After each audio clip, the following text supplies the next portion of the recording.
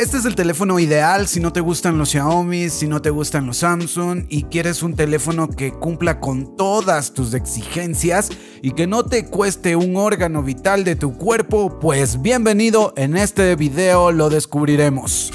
Hola amigas, hola amigos, hola bros que se han suscrito a este canal. Ya saben, para mí es un gustazo que estén aquí conmigo una vez más.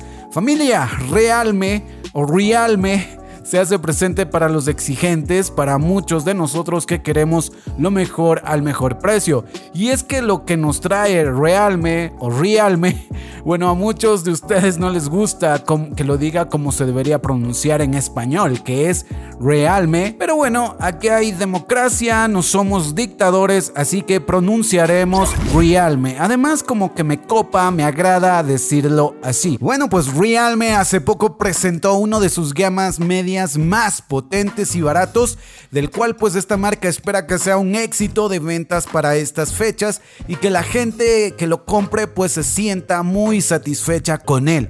Bueno, antes de seguir, ya saben, me encanta sentir el apoyo de ustedes, así que démosle un fuerte like a este video y suscríbete. Será un gusto tenerte en esta comunidad.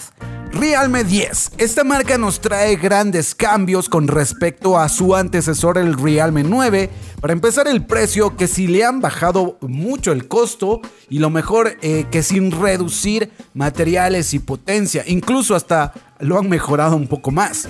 El diseño tiene ligeros cambios, la pantalla igual con el agujero a un costado para su cámara frontal. La tecnología de este Realme 10 es Super AMOLED con 90 Hz de tasa de refresco, un brillo potente y una gran resolución, ya que esta pantalla pues es creada por Samsung. Para la potencia tenemos al renovado Helio G99, que es un chip que eleva mucho la potencia de teléfonos 4G. Este chip es la evolución máxima del Helio G90T, el cual pues hizo un éxito de ventas al Redmi Note 8 Pro. Pero este G99 es más potente y eficiente para los gráficos y es también más eficaz al consumir la batería ya que tiene un nodo de 6 nanómetros y se va a recalentar mucho menos en las ocasiones que le exijas al máximo. La tecnología de la memoria es UFS con una memoria RAM en tres versiones. 4, 6 y 8 GB, la cual pues se puede extender mucho más ocupando incluso hasta el doble, ocupando el espacio de almacenamiento.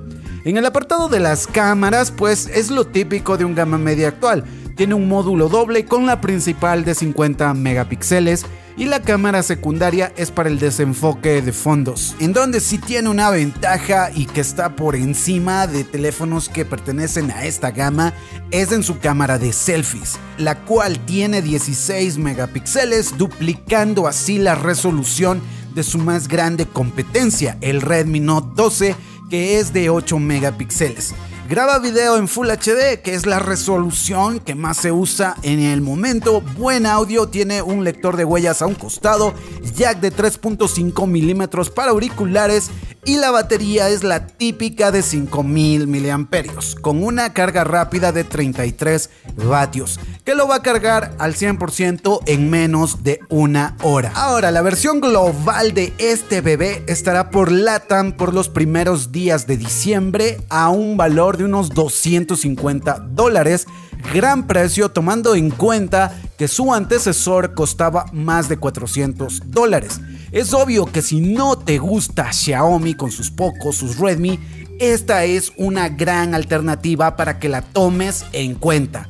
Y bueno amigos, creo que hasta aquí la dejamos por hoy. Espero que este video les haya servido de información por si estaban en sus planes de comprar un teléfono potente y barato. Pues aquí está. Amigos, amigas, ya saben, dejen su fuerte like, suscríbanse, sigan para adelante, para adelante como un elefante. Yo soy Vic, hasta la próxima. Adiós, chao, chao.